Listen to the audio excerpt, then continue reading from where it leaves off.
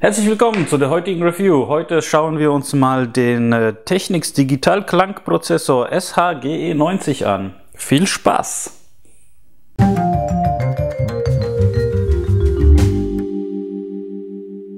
Erschienen ist der ähm, digitale Klangprozessor 1993 und äh, war ein zusätzliches Modell zu dem SHGE70, den es auch schon auf dem Markt gab und äh, wurde bis in die 2000er Jahre gebaut. Ich würde sagen, wie immer erstmal einen Blick auf die Rückseite, äh, um zu sehen, welche Anschlüsse er hat. Und so sieht die Rückseite des digitalen Klangprozessors aus. Wir haben auf der linken Seite Cinch-Anschlüsse und zwar einmal zwei Stück für Tape. Das war einmal Rack Out, linker und rechter Kanal und Play In, linker und rechter Kanal. Hier war also Rack Out äh, ist, war das Cinch-Kabel für den Ausgang zum Kassettendeck und Play In war vom Kassettendeck in den Klangprozessor. Dann haben wir hier nochmal In und Out. Da konnte man einfach ein zusätzliches Gerät anschließen. In meisten Fällen kam aber hier in das, Eingangs, äh, das Eingangssignal vom Verstärker rein, in den In-Anschluss und ging hier wieder zum Verstärker zurück. Und somit konnte ich dann die Geräte die äh, am Verstärker angeschlossen waren, wie Plattenspieler oder CD-Player, über den digitalen Klangprozessor laufen lassen. Und dann haben wir noch auf der rechten Seite den kleinen Stecker für den Stromanschluss. Das war's auf der Rückseite. Jetzt schauen wir uns mal die Funktionen auf der Vorderseite an. Werfen wir als erstes einen Blick auf die linke Seite. Der linken Seite unter dem Technics-Logo ist einmal der Power-Schalter, also Netzschalter zum Einschalten des Geräts. Rechts davon haben wir die Funktionen für die Karaoke-Eigenschaften, die der äh, Klangprozessor hatte. Und zwar habe ich hier unten zwei Mikrofoneingänge und über, oberhalb dieser Mikrofoneingänge habe ich zwei Lautstärkeregler. Hier hatte man das Mikrofon 1, hier hatte man Mikrofon 2 einge angeschlossen und man konnte die Lautstärke der Mikrofone separat regeln. Diese drei äh, Buttons sind für die Karaoke-Funktion zuständig. Wir haben einmal hier Voice Mute. Damit konnte ich die Lautstärke der Wiedergabe von einer CD oder Schallplatte oder Kassette etwas dämpfen, um die Gesangsstimme von der Person, die gesungen haben, besser zu hören. Äh, mit der Keycon-Taste konnte ich die Tonhöhe etwas runterdrehen von der Wiedergabe und mit der Echo-Taste konnte ich einfach einen Echo-Effekt hinzufügen. Hier unten haben wir nochmal eine Taste, da steht Display Spectrum Mode. Äh, damit konnte ich einfach die Anzeige des Displays verändern. Dann gab es vier Modi, die ich hier umstellen konnte. Ähm, schauen wir uns im eingeschalteten Zustand dann an. In der Mitte haben wir dann das Display, auf dem uns alles angezeigt wird. Und auf der rechten Seite haben wir natürlich noch ein paar äh, Tasten für die Einstellungen. Zwar haben wir hier oben erstmal drei LEDs, einmal EQ-Frag, Effekt Key und Echo. Würde ich gern erklären, wenn wir das Gerät eingeschaltet haben, weil die einfach nur leuchten, wenn ein ausgewählter äh, Modus aktiv ist. Dann haben wir hier ähm, die Fix Mode Taste. Da hat äh, Technics einfach schon mal ein paar voreingestellte ähm, Effekte äh, eingespeichert, zwischen denen ich die aussuchen konnte. User Mode hatte ich die Möglichkeit, meine eigenen Einstellungen vorzunehmen und bis zu fünf Stück zu speichern. Mit Memo natürlich habe ich das gemacht. Das ist die Memo-Taste, ist fürs Speichern dieser äh, Benutzereinstellungen. Dann habe ich hier SFP Off On. Das war die Taste für die Ambientensteigerung. Konnte ich hier ein- und ausschalten. Und es gab noch einen Demo-Modus. Wenn ich auf die Demo-Taste gedrückt habe, hat er mir einfach die äh, ganzen Sachen auf dem Display in einem Demo angezeigt. Dann haben wir hier unten einmal ähm, äh, für Rauf- und Runter Band-Einstellungstasten und Level Plus und Minus für die Einstellungen, die wir uns dann im Display anschauen. Dann haben wir hier noch EQ on Flat. Damit konnte ich einfach äh, die ganzen Einstellungen ausschalten und die normale Wiedergabe der CD abspielen, ohne dass diese Änderungen vom digitalen Soundprozessor hörbar waren. Dann haben wir hier nochmal einen Joke, mit dem ich äh, paar Einstellungen vornehmen konnte und ähm, Source-Auswahl zwischen dem Input, den wir hinten auf der Input-Seite angeschlossen haben, oder wenn es halt ein Tape war, konnten wir hier äh, das Tape auswählen. Dann haben wir hier noch die Joke Mode Taste, äh, um die äh, Frequenzen hier äh, vom Joke einzustellen, die wir dann einstellen können. Ich würde sagen, ich schalte das Gerät einfach mal an und äh, wir werfen einen Blick auf den, aufs Display und gucken uns noch ein paar Funktionen im Live-Modus an. So, einmal die Power-Taste an und dann äh, sehen wir schon mal im Display äh, eine Anzeige und äh, wenn ein Signal kommt von einem Song, sehen wir auch einen Ausschlag. Ich zoome ein bisschen ans Display erstmal ran, dass man das auch besser sehen kann.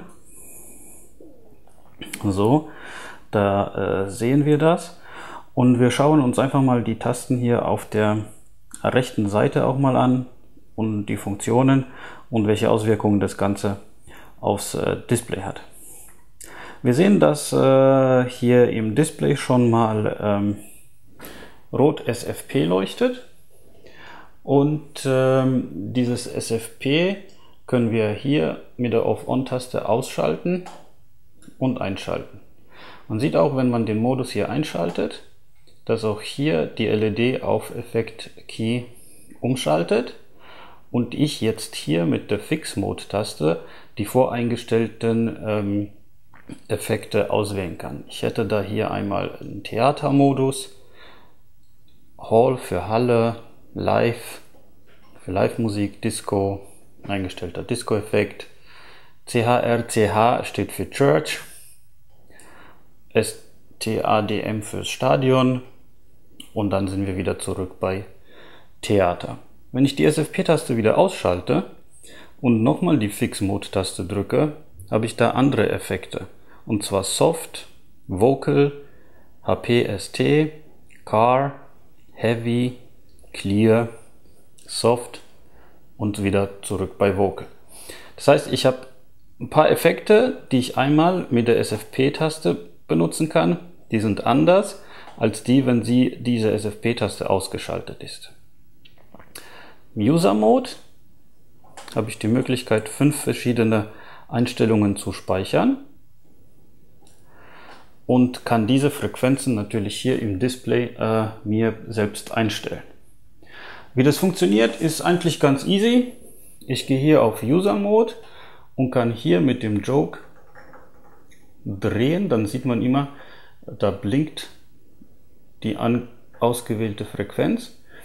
Ähm, und kann nämlich hier bei Band umschalten zwischen Low, dann sind wir auf der ganz linken Seite, das sieht man gleich, Moment, User Mode, Low, dann sieht man, wenn ich jetzt am Jog drehe, dass sich dieser Punkt auf der linken Seite befindet.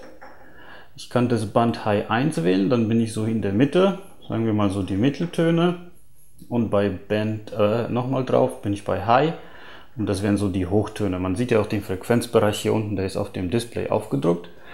Und das Ganze kann ich hier mit Level verändern. Also mit Minus nach unten, mit Plus nach oben. Und diese Auswirkungen höre ich auch gleich, wenn ich die einstelle. Das heißt, ich kann zum Beispiel hier die Höhe ein bisschen hochstellen und kann die dann mit dem Joke hier ein bisschen verändern. Ja, diesen Frequenzbereich. Kann natürlich auch auf Low gehen und zum Beispiel da die Bässe ein bisschen höher zu machen, kann das Ganze auch ein bisschen verschieben und kann zum Beispiel hier äh, auf äh, High 1 gehen, das zum Beispiel jetzt runterdrehen oder auch etwas höher und kann das Ganze hier auch einstellen, wie ich das halt gerne hätte und wie mir das gefällt. Und um das Ganze zu speichern, muss ich dann einfach nur hier auf Memo drücken und dann einfach auf User Mode. Dann steht da hier eine 1, eine 2, eine 3, eine 4 oder eine 5. Das heißt, ich wähle mich einfach durch diese Modis durch, äh, um einfach zu sagen, ich möchte das jetzt gern beim User 2 zum Beispiel speichern. Drücke ich nochmal auf Memo und dann erscheint da auf User 2. Wenn ich mich jetzt durch den User-Mode klicke, dann ist der User 3 eigentlich ganz flach, der 2 auch, 5 auch, 1 auch. Und bei 2 habe ich dann meine Einstellungen, die ich mir vorher gespeichert habe.